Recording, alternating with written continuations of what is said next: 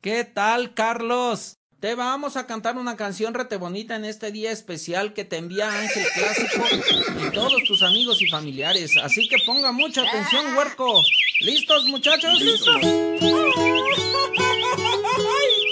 Estas son las mañanitas que cantaba el rey David. Hoy por ser tu cumpleaños te las cantamos a ti. Oh, caballitos, oh. Qué linda está la mañana en que vengo a saludarte. ¡Feliz cumpleaños! Venimos todos con gusto y placer a felicitarte. ¡Uy, mi! El día en que tú naciste, nacieron los dinosaurios. Y en la pila del bautismo cantaron los pterodáctilos. Ya viene amaneciendo, ya la luz del día nos dio. Levántate mira que ya amaneció, mira que ya amaneció, mira que ya amaneció.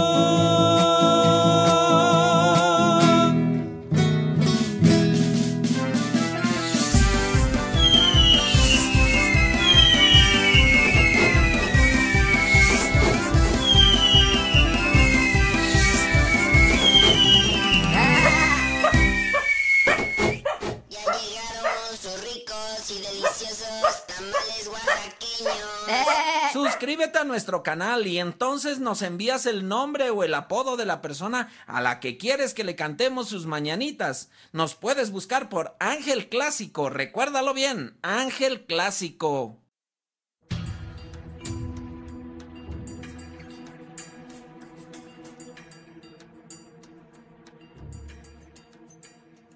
Hola, ¿qué tal? El día de hoy quiero contarte una historia que me ha sucedido en los últimos años y que se repite constantemente. Mi trabajo actual es ayudar a las personas a mejorar su economía y busco en cada una de ellas al líder que tiene dormido. Esta tarea pues es realmente difícil porque pocos son los que quieren despertar y muy pocas veces me encuentro a personas despiertas. Todo esto, todos sin duda, todos tenemos un líder dentro que es capaz de hacer cosas que no se imagina que pueden hacer. Pero la mayoría no despertará jamás. No porque no puedan, sino porque no quieren despertar. Si eres de los que no quieren despertar, está bien, no hay ningún problema. Solamente te pido que dejes de escuchar este material, pues no te va a servir. Es más, vamos a dar 5 segundos para que lo detengas y sigas mirando videos en YouTube o Facebook que te hagan reír, aunque tu bolsillo esté vacío.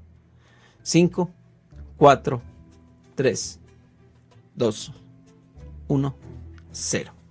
Bien, eh, los que quieren seguir durmiendo se han acostado y se han tapado sus cobijas nuevamente. Pero tú te quedaste, eres de los pocos que han decidido despertarse.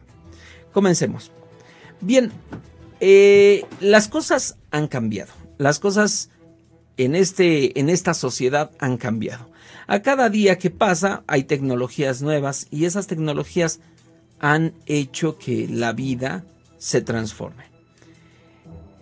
Eh, he tenido la oportunidad de entrevistar a más de mil personas que han salido a buscar trabajo.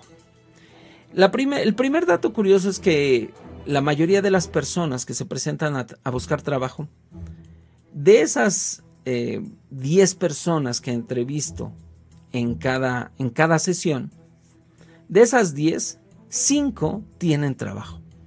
¿Sí? Sí, sí tienen trabajo. Entonces, ¿por qué buscan trabajo? Si tienen un trabajo. Bueno, pues buscan un trabajo porque lo que ellos ganan no les alcanza. Entonces, cuando yo les pregunto a esas personas, ¿por qué estás aquí? Ellas me responden, porque estoy buscando trabajo. Entonces yo les digo, bueno, mira, yo no creo que estés buscando trabajo. Me dicen, sí, sí, sí, estoy buscando trabajo. Y le digo, me encantaría decirte que sí, pero en realidad no estás buscando trabajo. Me dice, sí, sí estoy buscando trabajo. Y les digo, mira, te voy a decir esto. En tu casa hay mucho trabajo, pero no te pagan. Es más, si tú ahorita te levantas y te pones a, a, barrer, no sé, en la calle, ese es un trabajo, pero no te lo pagan. Yo lo que creo es que estás buscando ingresos. Yo lo que creo que estás buscando es dinero, porque casi te puedo asegurar que tú tienes un trabajo. Pero estás buscando trabajo porque el dinero no te alcanza y dicen, bueno, sí, sí es cierto. Le digo, ¿verdad que sí? Porque en tu, en tu casa sí tienes trabajo. Sí, sí, sí tengo trabajo. Pero no te pagan. Pues sí, no, no me pagan. Entonces no estás buscando trabajo, estás buscando dinero. Y el problema aquí radica en que la mayoría de las personas siguen saliendo a buscar trabajo y no dejan claro en su mente que están buscando dinero. Eso es lo primero que me sucede. Eh, lo segundo que me sucede es cuando yo les pregunto cuánto deseas ganar, la mayoría me contesta, no sé. Esa es la verdad, me contestan, no sé. Y las personas buscan para lo buscan algo acorde a lo que ellos a, al cómo se le dice y ellos buscan algo acorde a su autoestima. Si tú les ofreces cinco veces lo que van a ganar o cinco veces de lo que han ganado mensualmente, no se quedan porque su autoestima está baja. Entonces, pero si nosotros les ofrecemos cuatro mil pesos, una escoba, una cubeta y unos trapos, sí se quedan. Bien. Entonces, lo primero que yo quiero decirte es lo siguiente. Imaginemos, imaginemos, eh, eh, tú recuerdas, tú recuerdas aquellos, aquellos teléfonos de los ochentas donde, donde las personas tenían un aparato que se llama teléfono y que eh, tenía una bolita, un, un círculo y, tenía los 10 números 0 hasta el 9 y le metías el dedo y le hacías y así marcabas el número.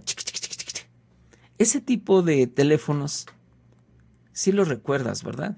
Ok, si es que eres de esa época.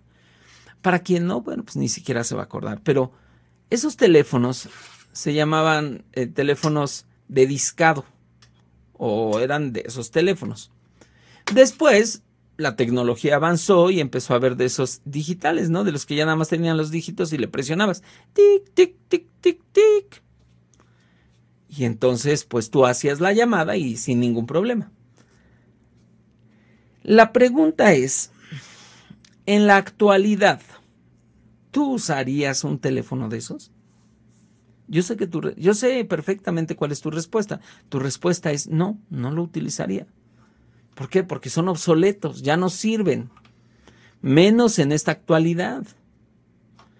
Si yo te pregunto qué teléfono tienes, seguramente vas a sacar un teléfono, un smartphone, este, que ya trae la pantalla táctil, que no nada más te sirve como teléfono, te conectas a internet, puedes hacer videollamadas, puedes whatsappear, puedes enviar correos electrónicos, es decir, ese aparato ya tiene más funciones. Ese aparato ya tiene más funciones que te permiten eh, eh, distraerte, que te permiten hacer más cosas, etc. Ya no tan solo es, sirve para llamadas o para enviar mensajes. Entonces aquí viene la pregunta. ¿Por qué estás buscando un empleo. buscar un empleo en la actualidad es como querer comprar un teléfono de esos de los ochentas, que para hacer una llamada tenía que estar conectado al cable y tenías que meter el dedo y hacerle... Mi pregunta es, ¿quién usa esos teléfonos? Nadie, porque se volvieron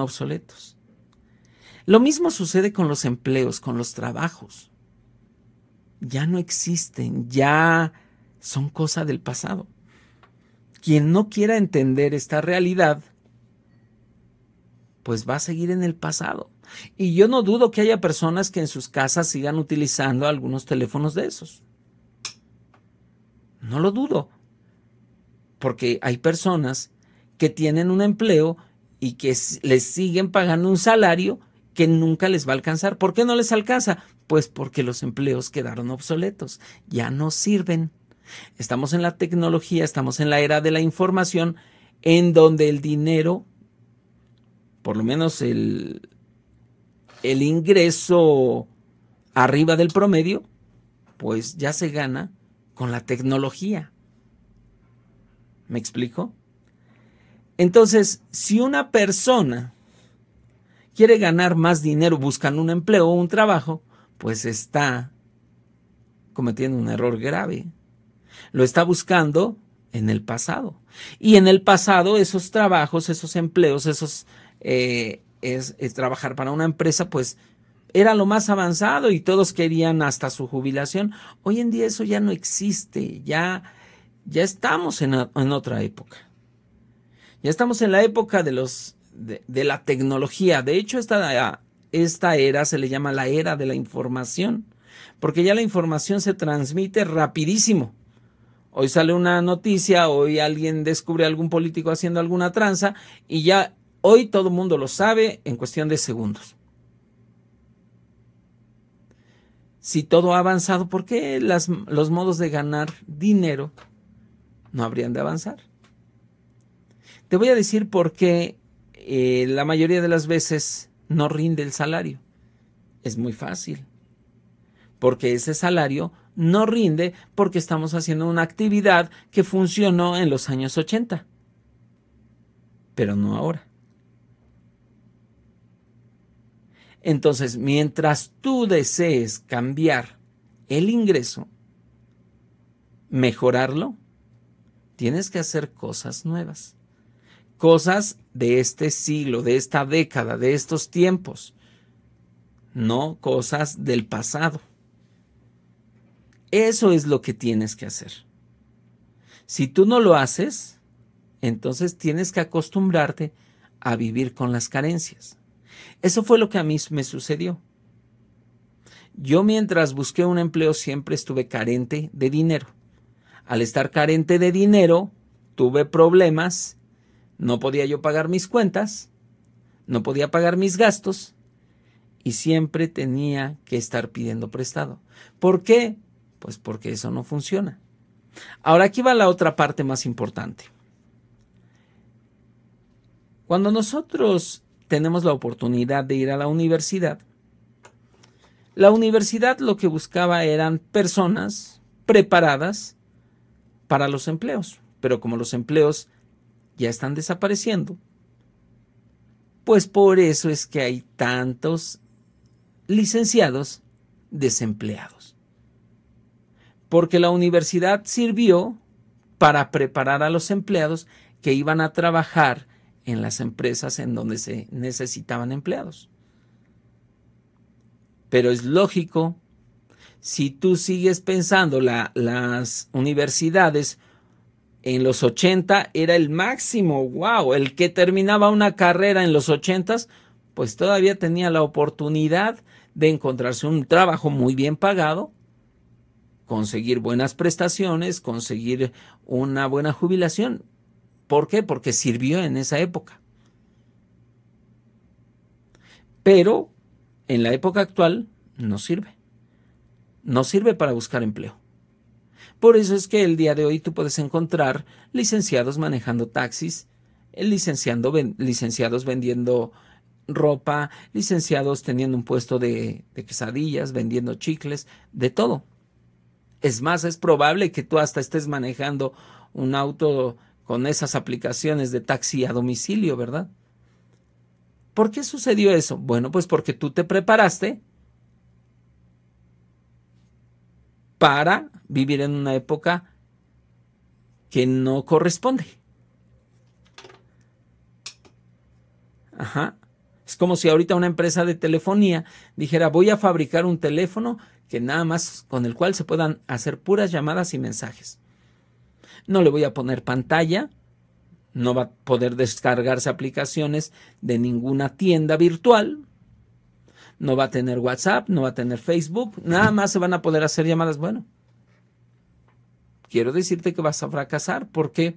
Porque en la actualidad los teléfonos deben cumplir ciertas características mínimas para que puedan ser comprados en masa. Y eso entonces les garantiza ventas para que ellos puedan tener el ingreso económico. De nada va a servir que ellos inviertan millones de, dólares en un teléfono como todos los conocemos en México, un Tamagotchi de esos Nokia de, los años 80, de los años eh, 90 o de principios del milenio. Entonces, cuando tú te preparas, sales, pues estudiaste para algo que funciona en 1980, pero no en la actualidad.